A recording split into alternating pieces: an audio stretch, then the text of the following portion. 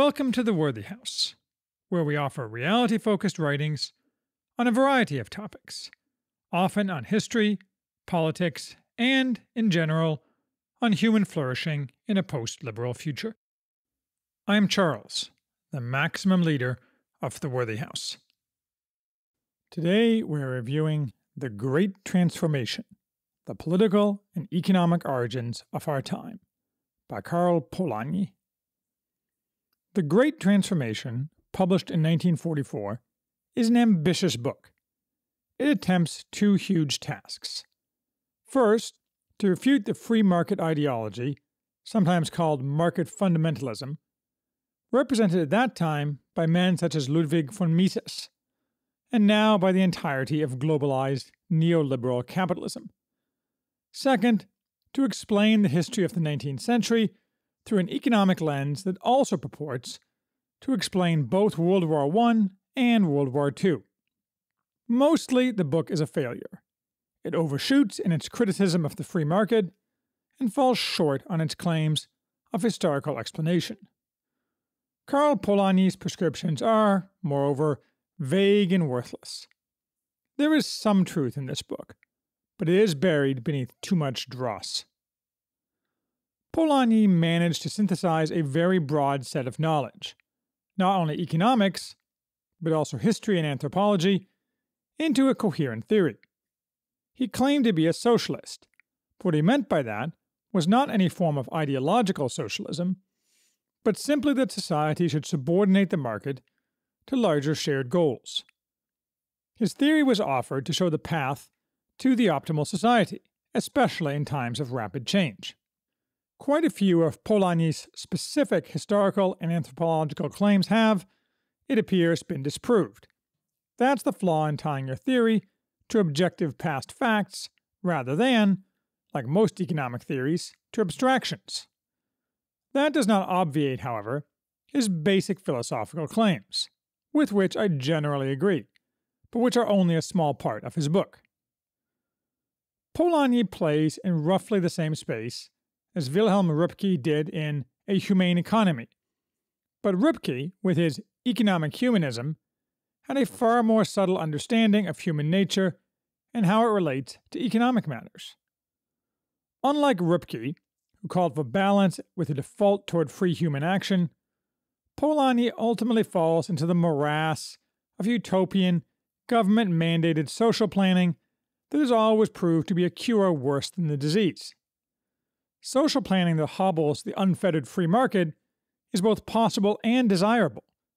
But to achieve real human flourishing, it has to be done with far finer tools and with a far more virtuous ruling class and compliant ruled class than Polanyi and other left leaning social thinkers suggest. He begins by outlining the Hundred Years' Peace, from the Congress of Vienna to World War I. Polanyi ascribes the peace to four interlocking mechanisms, creating a new organization of economic life the balance of power system, the gold standard, the self regulating market, and the liberal state. Collectively, these created the market society, and of these, the most important was the gold standard. It, as implemented by those who controlled high finance and benefited from the peace and from the market, is what made the others possible. And when it shuddered, then died, so did the peace. Not that Polanyi likes the gold standard, quite the contrary. It was slavish adherence to the gold standard, in the service of gain by men of power, that, for a time, allowed the other three to flourish. At the same time, suppressing normal social pushback to limit the reach of the market into society. It was the breakdown in the gold standard that revealed the rot that had grown underneath. And what we got was chaos, then fascism. Much of the book is a detailed exploration based in history and anthropology. For example, Polanyi steps backward in time to discuss enclosures of the commons in England, to make the point that enclosure was necessary, but the rate of change was just as important as the change itself making the ultimate change regenerative rather than degenerative, even though it still had high costs. slowing change down was what the Crown did under the Tudors and Stuarts, without getting due recognition from later historians and economists. Only from the Industrial Revolution onwards did the ideology of the self regulating market, an economy directed by market prices and nothing but market prices, reject governmental regulation of the speed and substance of such major economic changes, which had always been the norm. Polanyi argues that this self regulating market was an entirely new thing in human history, the great transformation of the title, and that market prices around the globe until that time played a clearly subordinate role in transactions between people. Adam Smith lied to us when he said that man interacted through a propensity to barter, truck, and exchange one thing for another. Rather, in the past, man's economy, as a rule, was submerged in his social relationships. He does not act so as to safeguard his individual interest in the possession of material goods. He acts so as to safeguard his social standing, his social claims, his social assets. He values material goods only insofar as they serve this end. His aims were reciprocity, redistribution, or householding, and Polanyi uses anthropology to argue that societies, until the modern era, revolved their economies around those principles. This is substantivism, contrasted with the formalism of neoclassical price based profit maximizing. Now, however, society is embedded in the economy rather than the reverse, and we are not the better for the switch. For Polanyi, any economy is not a freestanding framework within which we operate. Rather, the economy is a manifestation of, and should serve, social relations. This is true in the narrow sense that a friction filled or low trust society results in a poorly functioning economy. But that is far less important than the broader sense that social goals, in short, human flourishing, are the proper object of the economy. Other goals, such as maximizing GDP or obtaining low transactions costs, or honoring an abstract freedom to enter into contracts, should be subordinate or oppositional.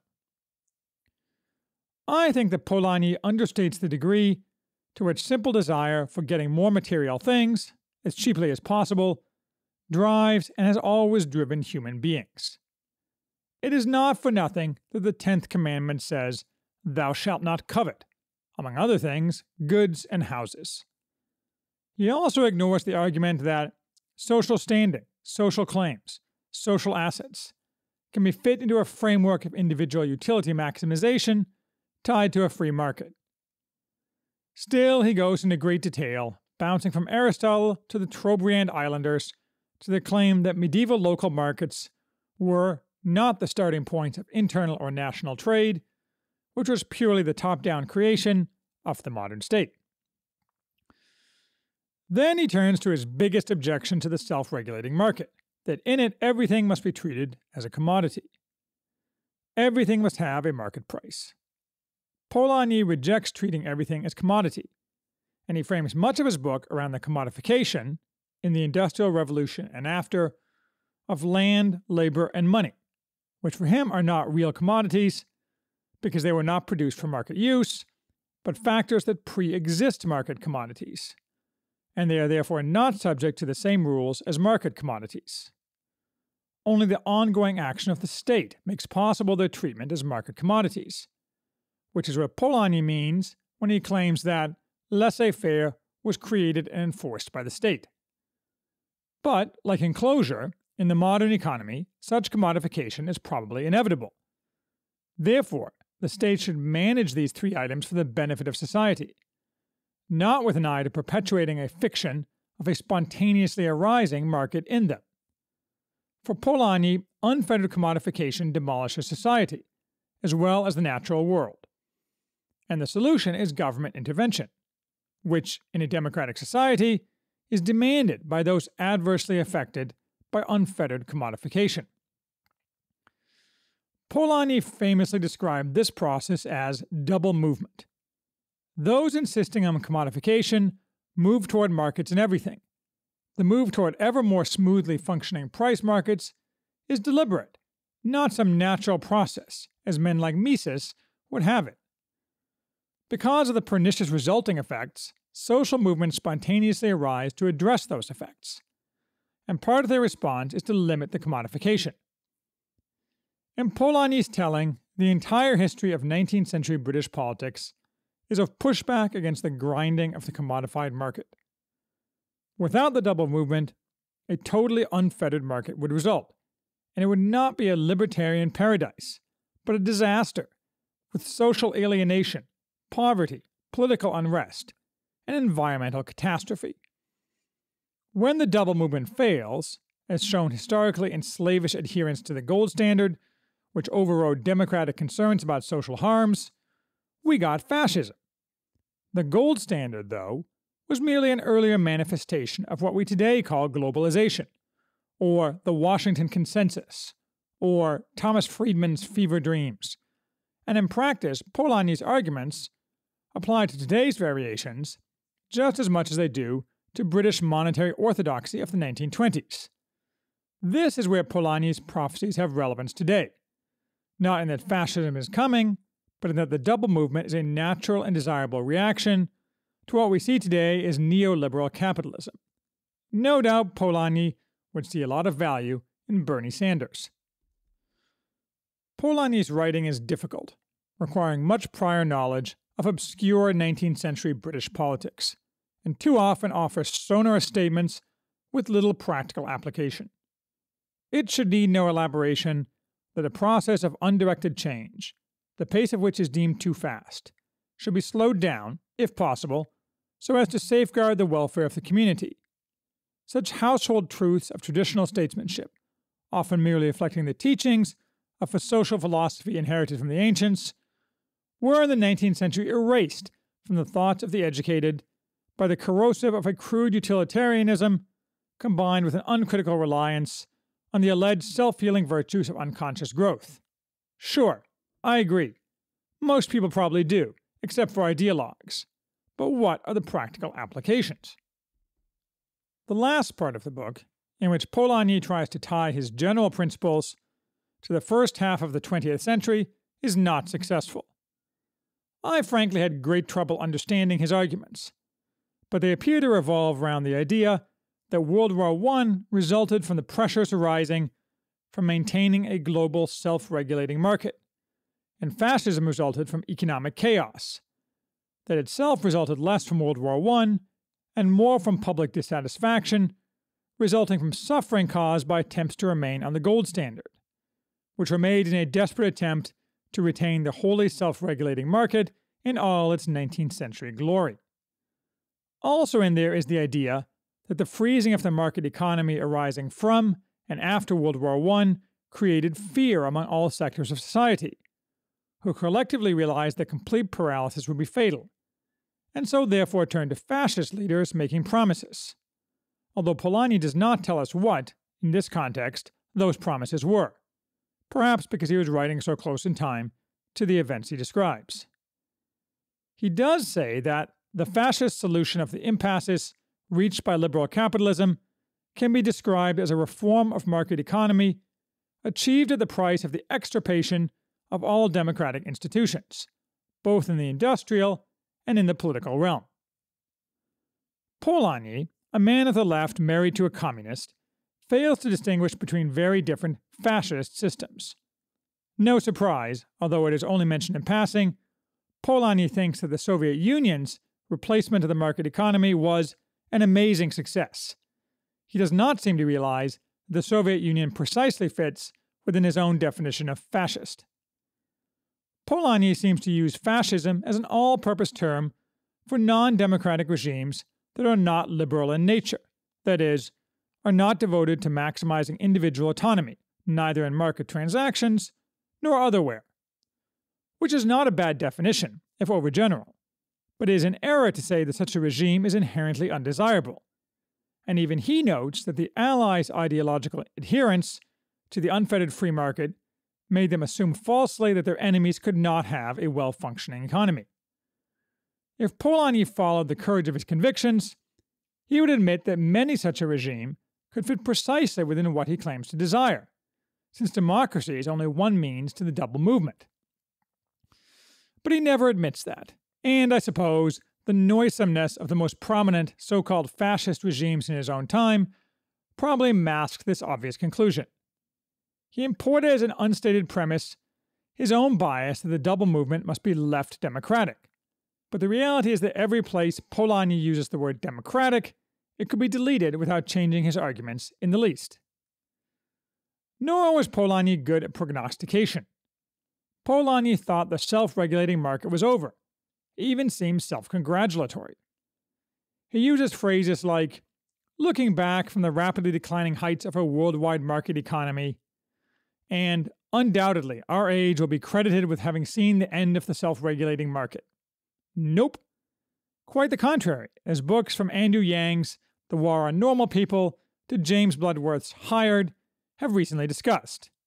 He was just wrong, and simply because the double movement seems to be on the rise, as shown by some ferment in the United States, and even more by European events such as Brexit and the rise of Viktor Orban, does not mean that the self regulating market is not going to come out on top again. Polanyi thought and desired that the self regulating market would be replaced by massive government diktats. He doesn't say that exactly, but it's the tenor of what little he does specifically say. Labor would be removed from commodification by the government, directly or by unions empowered by the government. Not only conditions in the factory, hours of work, and modalities of contract, but the basic wage itself will be determined outside the market. It is not clear to me how union negotiation is supposed to be outside the market. What Polanyi seems to be saying is that unions will demand non market compensation of some type. But in practice, this is merely a call for total government price setting in the labor market, something you don't have to be an Austrian school economist to see how silly it is. Land would be removed from commodification in some totally vague way. The incorporation of land with definite institutions such as the homestead, the cooperative, the factory, the township, the school, the church, parks, wildlife preserves, and so on. Private farms would be allowed to exist, but the implication is that most land will no longer be alienable, or fully alienable, again by in practice transferring most land to some level of government. And many core prices, staple foods and organic raw materials, the latter presumably meaning commodities such as oil and coal, will be entirely removed from the market and prices fixed by the government. In Polanyi's view, modern central banking has already removed money as a commodity from the scene. There is some truth to this, but he did not foresee the explosion in monetary instruments and trading today. Nor, anywhere, does Polanyi advert to his earlier point that inevitable changes need to be slowed and alleviated, not stopped. All of these solutions appear to involve permanent reversal by the government of the commodification of land, labor, and money. It's fairly obvious this is just a Hayekian nightmare, and not much different than the Soviet Union without the terror and killing. Polanyi offers, even if he does not intend to, statism and collectivism, where man will soon come to serve the state that claims to be serving him. So, for example, Polanyi loved the New Deal, which was mostly an exercise in graft and massively increasing government power which was itself largely fascist, and which did nothing to relieve the Depression and almost nothing to relieve the estate of the forgotten man, despite the claims of those pushing it. Nonetheless, Polanyi believed that international cooperation in further new massive government regulation was the future. He entirely failed to see that, with some possible exceptions, more government planning meant less freedom. And despite his talk of reciprocity and redistribution in pre modern societies, he completely ignores the critical role of intermediary institutions in mediating economic life. In fact, he's explicitly the anti Hayek. He directly claims that more regulation, more government planning and control will make us more free, in a way vaguely promised but never explained. Given 75 years, we can now see that international regulatory cooperation is, aside from its other problems, merely an attempt to clamp down on the double movement, in exactly the same way Polanyi complained happened a hundred years ago, and that more freedom, even the good type of freedom, ordered freedom, isn't what we've gotten in exchange. Perhaps seeing that his vision isn't very attractive, markets will continue, Polanyi assures us. but he only mentions this in passing and seems to regard this as relatively unimportant. Markets continue, in various fashions, to ensure the freedom of the consumer, to indicate the shifting of demand, to influence the producer's income, and to serve as an instrument of accountancy, while ceasing altogether to be an organ of economic self regulation. He does not explain what this means, at all, and I have no idea what it could mean. As I said earlier, far more interesting and compelling is Röpke's economic humanism. And Röpke, unlike Polanyi in his quasi Marxist semi determinism, correctly sees the many other flaws in modernity that have little or nothing to do with economic matters. Now, there is no doubt that Polanyi's core premise, that the unfettered free market is a social disaster, is wholly accurate. It is not to the contrary that governments indulge and have long indulged in actions such as industrial policy or correcting market failures such as monopoly, or more recently various forms of highly aggressive regulation. The point here is the struggle for flourishing that the unfettered market imposes on the common people. The struggle results not only from needing to earn bread, but from the variability of real income that comes from the commodification of labor, land, and money. Normal people hate variability. They want certainty of employment, of wages, of ownership of land or tangible goods. What they get instead is the heinous modern system, where service workers are on call and summoned by iPhone app when they are to work, for as many hours as they are told to work, a few minutes before they need to be behind the counter. And what they don't get is a share in the benefits of an ever growing economy, which, as is well known, have accrued over past decades to a tiny slice of our society. These things are real problems, getting worse as our neoliberal overlords tighten their nasty grip. So, yes, I agree the government should aggressively intervene to accomplish social goals. My foundationalist government of limited ends and unlimited means will certainly do so. I think that in general, government should seek Röpke's goals. Wealth would be widely dispersed, people's lives would have solid foundations, genuine communities, from the family upward, would form a background of moral support for the individual. There would be counterweights to competition and the mechanical operation of prices. People would have roots and would not be adrift in life without anchor. There would be a broad belt of an independent middle class, a healthy balance between town and country, industry and agriculture. The problem for today is that our present government does already intervene to accomplish social goals. It's just those social goals are terrible the classic example being the 2008 bailouts of our neoliberal masters. And let's not mention the government's complicity in creating destructive monopolies, expertly covered in Tim Wu's The Curse of Bigness. Plus, I don't think encouraging our current government, which works hand in glove with the totalitarians of woke capitalism, to try to achieve other social goals is a good idea. It's just an excuse to impose their anti reality, toxic leftism on everyone. We need a remade, virtuous ruling class and government for seeking social goals to make any sense. And there is a recursive element too.